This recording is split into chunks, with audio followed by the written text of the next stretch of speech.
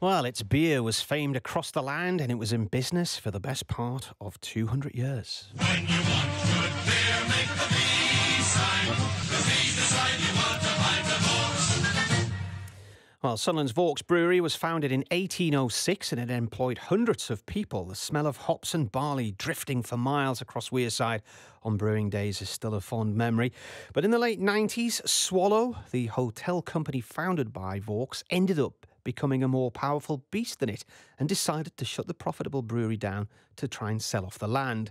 And now, as we head towards the 20th anniversary of that fateful day, a feature length film is to be released charting its downfall.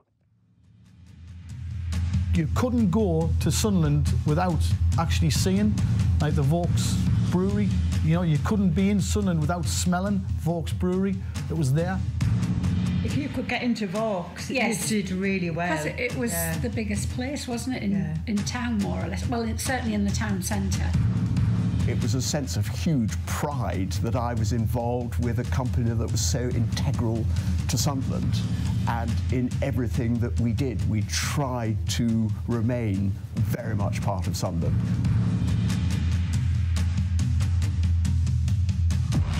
The closure of Vaux was a major blow to the morale of the city, which had already suffered a great deal. Our board fell out with itself. We, we committed corporate suicide. Uh, I do remember walking back up into the office and nobody spoke. We all just sat down and mm-hmm. I, I don't think we knew what to say to each other because I think we really knew then that that was going to be the end, yeah you think so many mistakes made. There was a mistake made by a bunch of London financiers who decide that this is worth a lot more ripped to bits. Forget about the people. Right at the end of the day, I remember I was probably the last to leave the brewery, and I vividly remember I placed placed a, a kiss on the sign that said Brewery and left. Still brings a tear to my eye now. It is an incredible story. A passion for Vaux, Sunderland's Lost Brewery, has been made by Marie Gardner and Mark Thorburn from Lonely Tower Film and Media. And Mark popped in for a chat a little earlier. The Vaux site itself has been a very physical reminder of what used to be there, the, the absence. Um, Frank Nicholson, who was the, uh, the managing director of Vaux Breweries when it closed, has described it as a scar on the city, and scars are very difficult things to heal. Obviously, progress is being made. There are there is now a building on there, the beam is on there, and plans for further development. But the um, the controversy surrounding the site, from a documentary film production point of view, is another angle within the Vaux story that just makes it such a fabulous Sunderland and Wearside story to tell. Mm. Why did you decide to do this then? Because it, it's a bit niche, isn't it, really? Well, it, it began out of a project that um, my partner, Marie Gardner, was working on a book project with the History Press called Sunderland Industrial Giant. And uh, in the book, Marie was researching the lost industries of Sunderland and kind of realized through her own family connections that the people who can talk with first hand experience about those lost industries are at the very end. So if you don't capture those recollections and those memories now, they're going to be lost forever. And whilst working on that that book project with with Marie, we got in touch with um, people who'd worked with Vaux Breweries, and Frank Nicholson, the former MD, uh, Sir Paul Nicholson, the Vaux Group chairman, and many other people who'd sort of worked in in the brewery on the shop floor, as it were. And once that book had been published, it, it kind of dawned on us via those connections that there really is a passion for the Vaux Brewery and trying to put it into words, what, what the tangible connection is, is, is quite difficult because you talk about shipbuilding and you talk about glassmaking and you talk about mining, and these are all industries that Sunderland and the Northeast as a whole is very connected to, even though they've gone.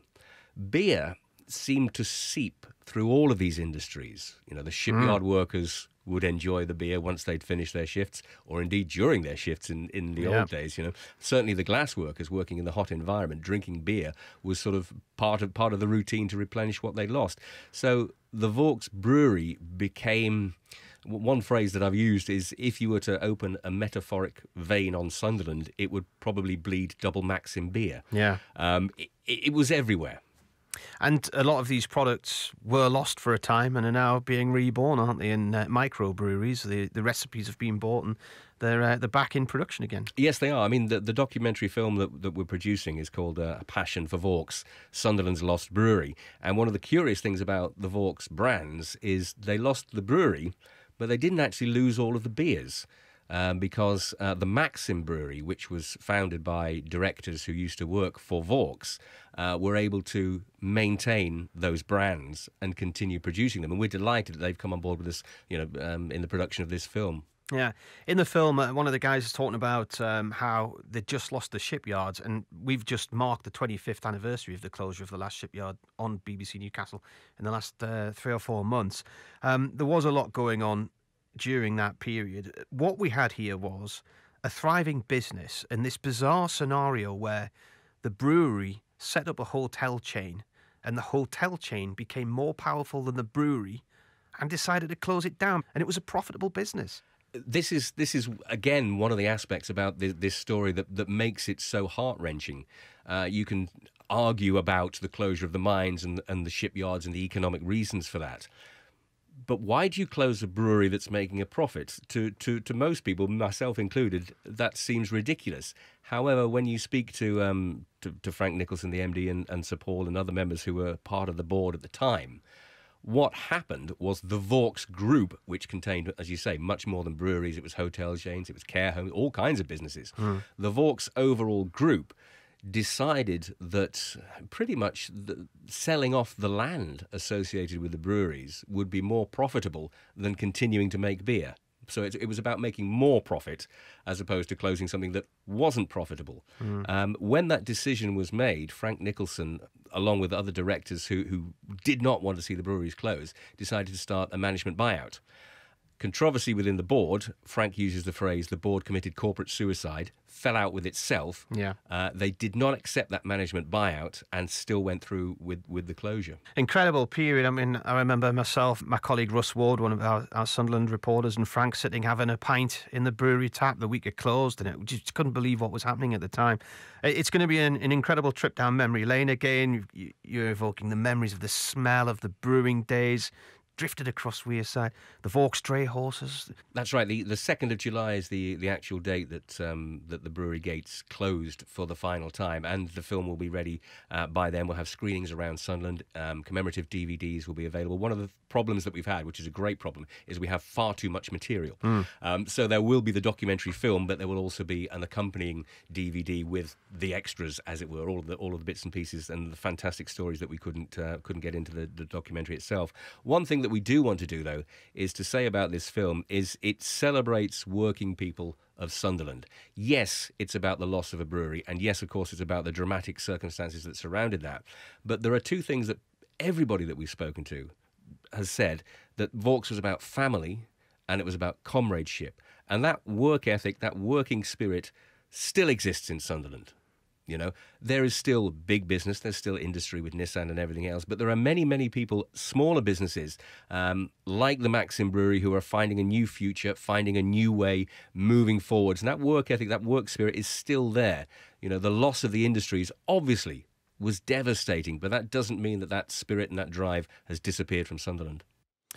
Indeed, not Mark Thorburn there, and we'll keep you posted when that Vaux film comes out. It's expected to be around about late June.